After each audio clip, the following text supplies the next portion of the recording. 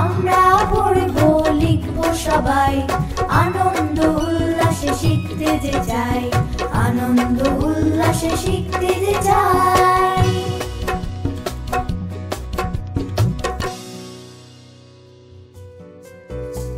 প্রিয় শিক্ষার্থীরা, তোমরা কেমন আছো? আশা করছি সবাই ভালো আছো, সুস্থ আছো।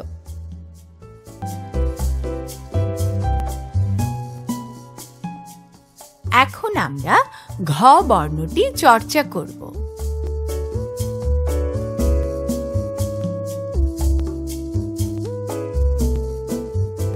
এখানে আমরা একটি ছবি দেখতে পাচ্ছি।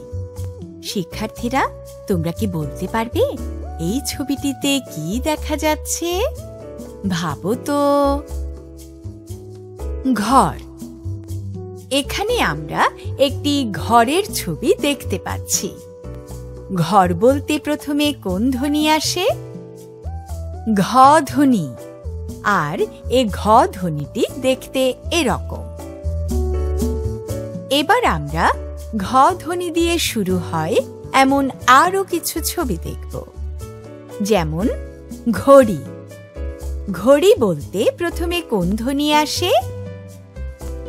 এসো, আমরা একসাথে বলি। ঘ ধ্বনি। ঘটক।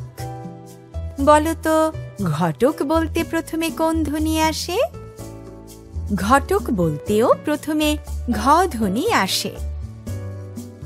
ঘণ্টা বলতো ঘণ্টা বলতে প্রথমে কোন ধ্বনি আসে? ঠিক বলেছ, ঘ ধ্বনি। তাহলে ঘ ধ্বনি দিয়ে শুরু এমন কয়েকটি শব্দ হল, ঘড়ি ঘটক ঘণ্টা এবার তোমরা ঘ ধ্বনি দিয়ে শুরু, আরও কয়েকটি শব্দ ভাবো তো।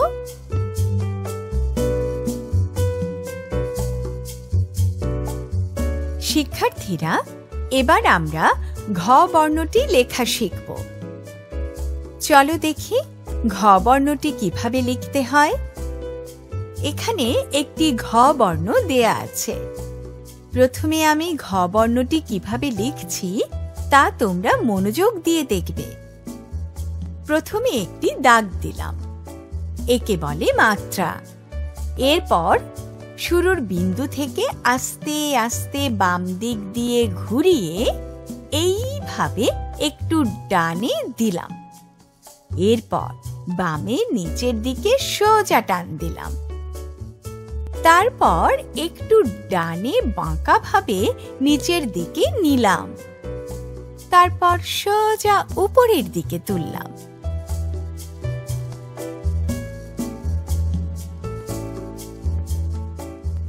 এই বর্ণটি হল ঘ। আমি আবার বলছি, ঘ। এবার আমরা সবাই মিলে চর্চা করব। তোমরা আমার সাথে সাথে তোমাদের আমার বাংলা বইয়ে ডট মিলিয়ে বর্ণটি লিখবে। আমি যেভাবে লিখছি, তোমরাও ঠিক সেইভাবে আমার সাথে সাথে লিখবে। প্রথমে একটি দাগ দিলাম। একে বলে মাত্রা। তারপর শুরুর বিন্দু থেকে আস্তে আস্তে বাম দিক দিয়ে ঘুরিয়ে এইভাবে একটু ডানে দিলাম। এরপর বামে নিচের দিকে সোজা টান দিলাম। তারপর একটু ডানে বাঁকা ভাবে নিচের দিকে নিলাম। তারপর সোজা উপরের দিকে তুললাম। এই বর্ণটি হল ঘ।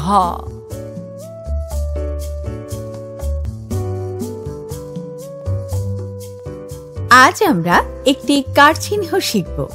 কার চিহ্নটির নাম আকার। এই কার চিহ্নটি আ বর্ণ থেকে এসেছে। আকার ব্যঞ্জন বর্ণের পরে বসে। যেমন ঘাস। এখানে ঘয়ের পরে আকার বসেছে।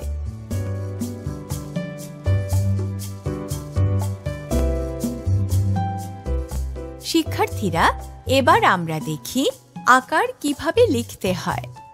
আমি তোমাদের লিখে দেখাচ্ছি। তোমরা সবাই মনোযোগ দিয়ে দেখবে। প্রথমে একটি দাগ ডান দিকে ঘুরিয়ে নিচের দিকে দিলাম। এরপর আবার উপরের দিক থেকে সোজা দাগ টেনে নিচে নামালাম। এরপর ডান পাশে এইভাবে একটি ছোট দাগ দিলাম। এই ছোট দাগটিকে আমরা বলছি অর্ধমাত্রা। এই কার চিহ্নটিকে বলে? আকার। চলো, এবার আমরা বর্ণ ও কার চিহ্ন মিলিয়ে পড়ি। প্রথমে আমি একটি পড়ে শোনাচ্ছি। খ, আ, খা। তোমরাও আমার সাথে সাথে বাকিগুলো পড়বে। গ, আ, গা। ঘ, আ, ঘা। এবার তোমরা আবার নিজে নিজে সবগুলো পড়ো।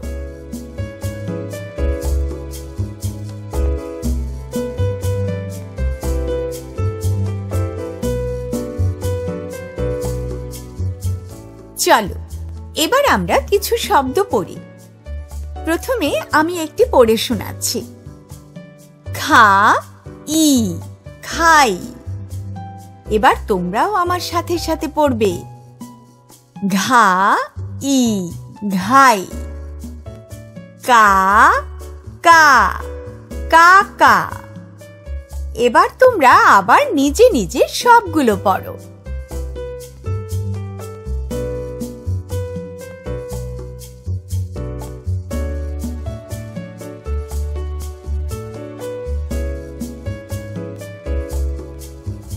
এবার আমরা কয়েকটি বাক্য পড়ব। প্রথমে তোমরা পড়বে। এখানে একটি করে বাক্য আসবে। আসার সাথে সাথে তোমরা পড়া শুরু করবে।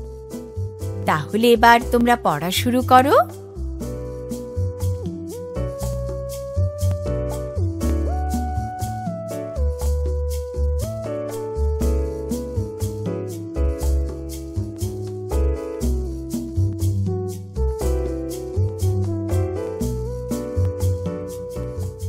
এবার আমরা একসাথে পড়ব। তোমরাও আমার সাথে সাথে পড়বে। মনে রাখবে, এই বাক্যগুলো পড়া শেষ হলে আমি তোমাদের দুটো প্রশ্ন করব। এবার চলো বাক্যগুলো পড়ি। কাকা কই? এই কাকা, ওই এক গাই গাই খই খাও, ওই আঁখ কাকা আঁখ খাও। একসাথে পড়ার জন্য ধন্যবাদ।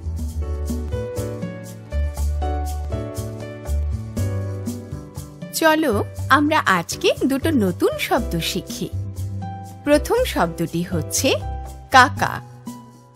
কাকা শব্দের অর্থ বাবার ভাই। আরেকটি শব্দ হচ্ছে আঁখ। আখ শব্দের অর্থ হচ্ছে এক প্রকার খাবার যা থেকে চিনি তৈরি হয়। প্রশ্ন শুনি ও উত্তর বলি। শিক্ষার্থীরা, এখন তোমরা এই বাক্যগুলো থেকে দুটো প্রশ্নের উত্তর খুঁজে বের করবে। প্রথম প্রশ্নটি হল, কয়টি গাই? বলো তো, উত্তরটি কি হতে পারে? ঠিক বলেছ। একটি গাই। দ্বিতীয় প্রশ্নটি হল, কাকা কি খাবে? বলো তো উত্তরটি কি হতে পারে?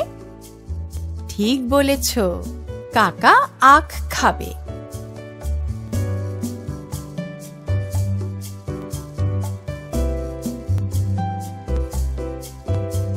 চলো আমরা কয়েকটি ছবি দেখি। এ ছবিগুলো থেকে ঘ ধ্বনি দিয়ে শুরু হয় এমন ছবিগুলো আমরা খুঁজে বের করব। গরু। গরু বলতে শুরুতে ঘ ধ্বনি আসে না। ঘর। ঘর বলতে ঘ ধ্বনি আসে। ঘড়ি। ঘড়ি বলতে ঘ ধ্বনি আসে। গম। গম বলতে ঘ ধ্বনি আসে না। গয়না। গয়না বলতে ঘ ধ্বনি আসে না। ঘণ্টা ঘণ্টা বলতে ঘ ধ্বনি আসে। তাহলে ঘ ধ্বনি দিয়ে শুরু হয় এমন ছবি হল ঘর, ঘড়ি ঘণ্টা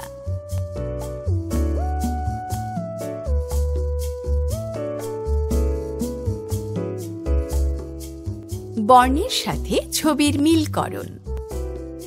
এখন আমরা বর্ণের সাথে ছবি মেলাবো। দেখো মাঝখানে ঘ বর্ণ দেয়া আছে। চারপাশে কিছু ছবিও দেয়া আছে। এবার আমরা ঘ ধ্বনি দিয়ে শুরু হয় এমন ছবি খুঁজে বের করব। আমি একটি করে দেখাচ্ছি। প্রথম ছবি হচ্ছে ঘরে। ঘর শব্দটি বলতে প্রথমে ঘ বর্ণ আসে। তাই আমরা ঘরের ছবির সাথে ঘ বর্ণটি মিল করলাম। এবার পরের ছবিটি হচ্ছে ঘড়ির। ঘড়ি শব্দটি বলতে কি? প্রথমে ঘ ধ্বনি আসে। ঘড়ি শব্দটি বলতে প্রথমে ঘ ধ্বনি আসে। তাই আমরা ঘড়ির ছবির সাথে ঘ বর্ণটি মিল করলাম। এবার পরের ছবিটি হচ্ছে গম। গম শব্দটি বলতে কি? প্রথমে ঘধ্বনি আসে। গম শব্দটি বলতে প্রথমে ঘ বর্ণ আসে না। তাই আমরা গমের ছবির সাথে ঘ বর্ণটি মিল করলাম না। এবার শেষ ছবিটি হচ্ছে ঘণ্টা ঘণ্টা শব্দটি বলতে কি প্রথমে ঘধ্বনি আসে? ঘণ্টা শব্দটি বলতে প্রথমে ঘ ধ্বনি আসে। তাই আমরা ঘণ্টার ছবির সাথে ঘ বর্ণটি মিল করলাম।